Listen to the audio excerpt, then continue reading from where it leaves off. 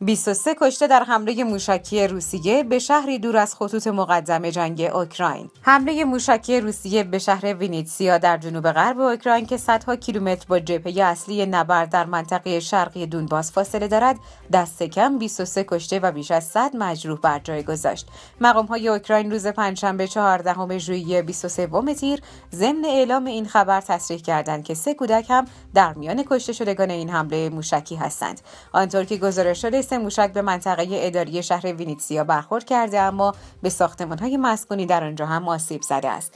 ولادیمیر زلنسکی رئیس جمهور اوکراین این حمله موشکی را اقدام تروریستی آشکار خوانده است. زلنسکی گفته موشک ها از یک زیردریایی روسیه در دریای سیاه شلیک شدند. با این حال ارتش روسیه که بارها حمله به غیر نظامیان را تکذیب کرده هنوز به این حمله موشکی واکنش نشان نداده است. آنطور که مرکز اورژانس اوکراین گزارش کرده موشکها به پارکینگ یک ساختمان اداری نه طبقه و همچنین یک ساختمان مسکونی اصابت کردند. وینیتسیا در جنوب غرب اوکراین واقع شده و حدود 370 هزار نفر سکنه دارد. همزمان وزیر کشور اوکراین از دستگیری چند نفر پس از این حمله خبر داده و گفته این افراد از سوی پلیس و نیروهای امنیتی اوکراین بازجویی شدند. با این حال وزارت کشور اوکراین علت این بازداشتها و ارتباط آنها با حملات موشکی امروز در وینیتسیا را روشن نکرده است. این حمله موشکی همزمان با دیدار دادستانهای کل اتحادیه اروپا صورت گرفت که در لاهه هلند گرد هم آمدند تا درباره اتهام جرایم جنگی از سوی روسیه در جریان حمله به اوکراین با هم رایزنی کنند.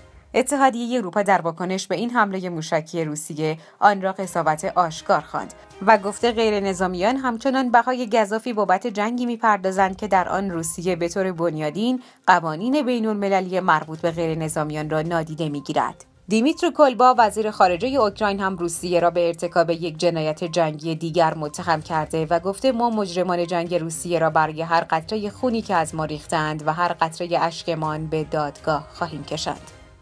راه پایان بخشیدن به جنگ اوکراین را می‌دانم اما فعلا نمی‌گویم. ژایر بولسونارو رئیس جمهور برزیل گفت به ولودیمیر زلنسکی رئیس جمهور اوکراین نظرم درباره راه پایان جنگ را می‌گویم. می‌دانم که این مناقشه می‌تواند حل شود اما فعلا به کسی دیگر نمی‌گویم. به نقل از خبرگزاری راشا تودی قرار است زلنسکی و بولسونارو روز دوشنبه گفتگوی تلفنی داشته باشند. بولسونارو از ارائه جزئیات بیشتر درباره این نقشه صلح خودداری کرد.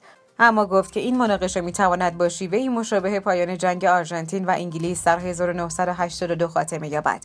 آرژانتین در آوریل 1982 به جزیره فالکلند تحت کنترل انگلیس حمله کرد و باعث شد لندن گروه ضربت دریایی بزرگی را اعزام کند.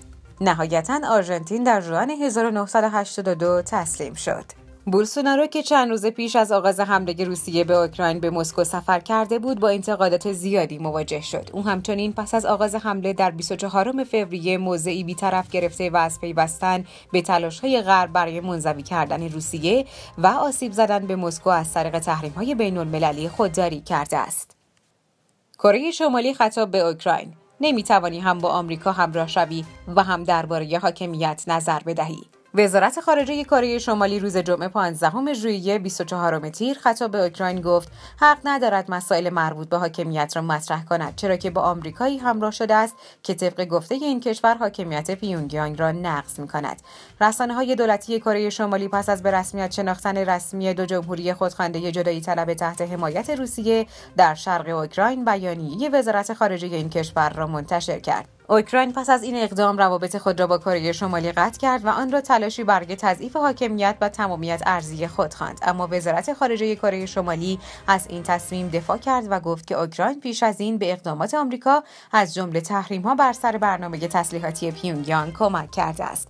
کره شمالی گفته است که برنامه های ای و موشکی این کشور یک بازدارندگی دفاعی است و ایالات متحده را به حفظ سیاست خصمانه با اعمال تحریم های بین المللی و برگزاری مانورهای نظامی با کره جنوبی متهم کرده است. این وزارتخانه اعلام کرد اوکراین حق ندارد پس از ارتکاب اقدامی که به شدت فاقد انصاف و عدالت بین ملت هاست با پیوستن فعالانه به سیاست ناعادلانه خصمانه و غیرقانونی ایالات متحده در گذشته این موضوع را مطرح یا درباره اعمال قانونی حاکمیت ما بحث کند. این نهاد تاکید کرد ما به تقویت توسعه دوستی و همکاری با همه کشورهایی که به حاکمیت ما احترام می‌گذارند و طبق اصول برابری حاکمیتی عدم مداخله در امور داخلی و احترام متقابل با ما رفتار مطلوب دارند ادامه خواهیم داد.